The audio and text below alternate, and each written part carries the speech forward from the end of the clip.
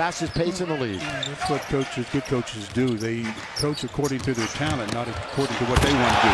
LBJ down the middle to throw it down. LeBron tried to bounce it in. It's a two-on-one, and LeBron takes it right back. They kind of botched that up, but LeBron stood his ground. Good pass by Lance, and the finish by McGee. Doesn't get a whistle. Running box out by LeBron. And that's an alley oop to McGee, who finishes it off the pass from KCP. Is running. Stephenson's got it. Lance has still got it. He finds McGee. No. Yes. And it's in. A running Four, hook eight. shot.